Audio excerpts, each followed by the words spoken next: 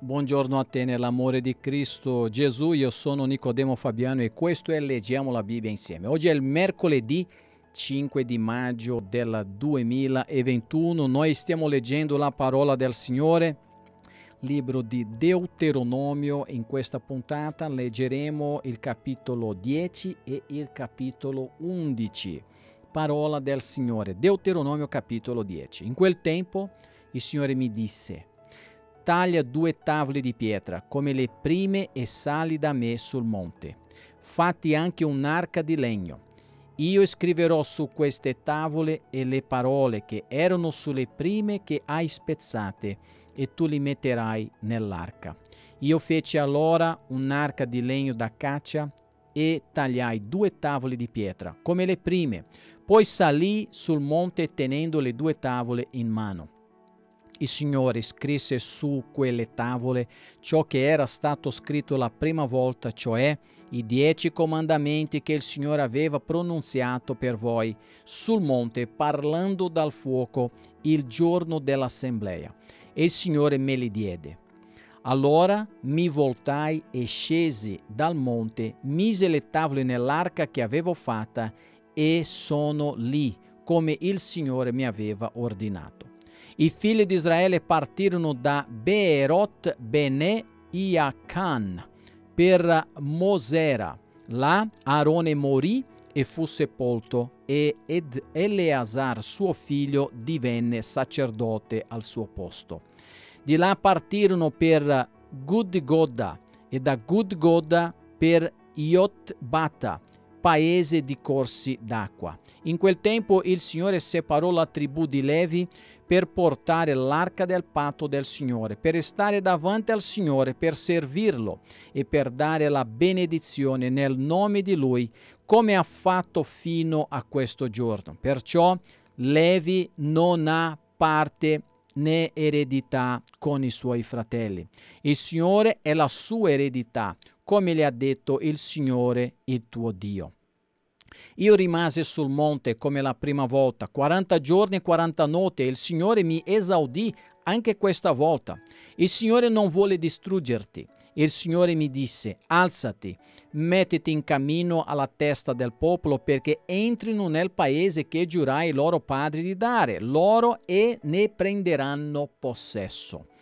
E ora Israele, che cosa chiede da te il Signore tuo Dio? Se non che tu tema il Signore, il tuo Dio, che tu cammini in tutte le sue vie e che tu ami e osserva il Signore tuo Dio con tutto il tuo cuore, con tutta l'anima tua, che tu osservi per il tuo bene i comandamenti del Signore e le sue leggi che oggi ti do, ecco, al Signore tuo Dio appartengono i cieli i cieli dei cieli, la terra e tutto ciò che essa contiene. Ma soltanto ai tuoi padri il Signore si affezionò e li amò. Poi, dopo di loro, fra tutti i popoli, scese la loro discendenza, cioè voi, come oggi si vede. Circoncidete dunque il vostro cuore e non indurire più il vostro collo poiché il Signore, il vostro Dio, è il Dio degli dei, il Signore dei Signori. Il Dio grande, forte e tremendo, che non ha riguardi personali, che non accetta regali, che fa giustizia all'orfano e alla vedova, che ama lo straniero e gli dà pane e vestito. Amate dunque lo straniero, poiché anche voi foste stranieri nel paese d'Egitto. Temi il Signore tuo Dio, servilo, tieni, tieniti stretto a Lui e giura nel suo nome. Egli è l'oggetto delle tue lodi, il tuo Dio che ti ha fatto, che ha fatto per te queste cose grandi e tremende, que, e, che gli occhi tuoi hanno viste. I tuoi padri scesero in Egitto, erano 70 persone e ora il Signore tuo Dio ha fatto di te una moltitudine simile alle stelle del cielo. Deuteronomio capitolo 11. Ama dunque il Signore tuo Dio e osserva sempre quello che ti dice di osservare, le sue leggi, le sue prescrizioni, i suoi comandamenti. Riconoscete dunque oggi che i vostri figli non hanno conosciuto né visto, cioè la disciplina del Signore vostro Dio la sua grandezza, la sua mano potente, il suo braccio steso, i suoi miracoli, le opere che fece in mezzo all'Egitto contro il faraone, re d'Egitto e contro il suo paese. Quel che fece all'esercito egiziano, ai suoi cavalli e ai suoi carri, come fece rifluire su di loro le acque del Mar Rosso, quando esse vi inseguivano, e come li distrusse per sempre quel che ha fatto per voi nel deserto fino al vostro arrivo in questo luogo, quel che fece a Datan e ad Abiram, figli di Eliab, figlio di Ruben, come la terra spalancò la sua bocca e li inghiottì come le loro famiglie, le loro tende e tutto quello che erano a loro seguito in mezzo a tutto Israele, poiché i vostri occhi hanno visto le grandi cose che il Signore ha fatte.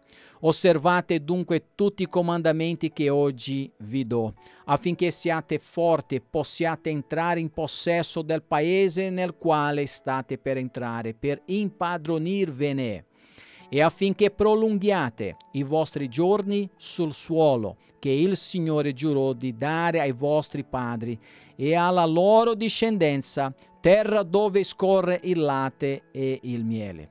Poiché il Signore, del quale stai per entrare, entrare il, perché il paese, scusate, poiché il paese del quale stai per entrare in possesso non è come il paese d'Egitto dal quale siete usciti, e nel quale spa, spagervi i semi e poi lo irrigavi con i piedi come si fa con un orto. Ma il paese del quale andate a prendere possesso è paese di monti e di valli, che assorbe l'acqua della pioggia che viene dal cielo paese del quale il Signore tuo Dio ha cura e sul quale stanno sempre gli occhi del Signore tuo Dio, dal principio fino alla fine dell'anno.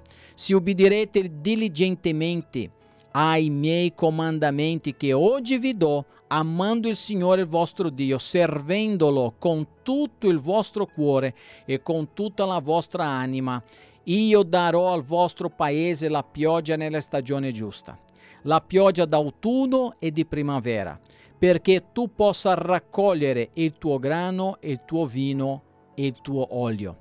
E farò pure crescere l'erba nei tuoi campi per il tuo bestiame, e tu mangerai e sarai saziato.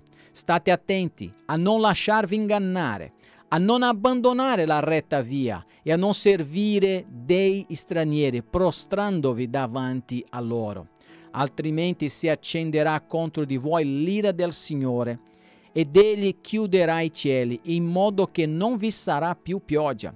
La terra non darà più i suoi prodotti e voi perirete presto nel buon paese che il Signore vi dà. Vi metterete dunque nel cuore e nell'anima queste mie parole. Ve le legherete alla mano come un segno e ve le metterete sulla fronte in mezzo agli occhi li insegnerete ai vostri figli parlandone quando te ne starai seduto in casa, quando sarai in viaggio, quando ti coricherai e quando ti alzerai. Le scriverai sugli stipiti della tua casa e sulle porte della tua città, affinché i vostri giorni e i giorni dei vostri figli nel paese che il Signore giurò di dare ai vostri padri siano numerosi come i giorni dei cieli al di sopra della terra.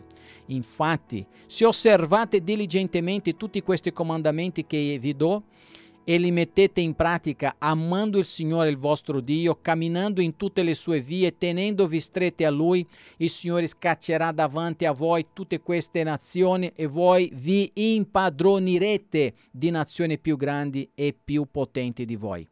Ogni luogo che la pianta del vostro piede calcherà sarà vostro.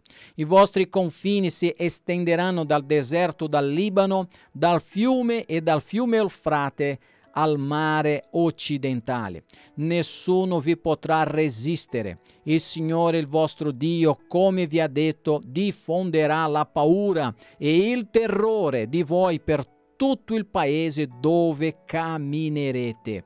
Guardate, io metto oggi davanti a voi la benedizione e la maledizione. La benedizione se obbedite ai comandamenti del Signore vostro Dio che oggi vi do. La maledizione se non ubbidite ai comandamenti del Signore vostro Dio e se vi allontanate dalla via che oggi vi ordino per andare dietro a dei stranieri che voi non avete mai conosciuto.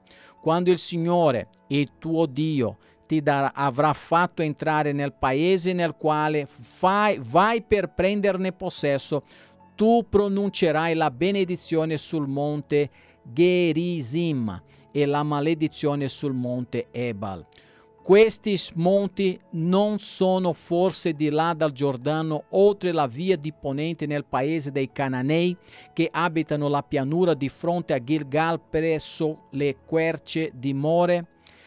Poiché voi vi accingete a passare il Giordano per andare a prendere possesso del paese che il Signore vostro Dio vi dà, voi lo possederete e vi abiterete. Abbiate dunque cura di mettere in pratica tutte le leggi e le prescrizioni che oggi ti metto davanti a voi. Parola del nostro Signore.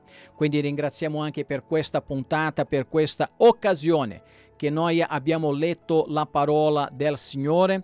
Io mi auguro che tu possa essere con me domani, quindi un forte abbraccio, un santo bacio e che la parola rimanga nel tuo cuore nel nome di Gesù.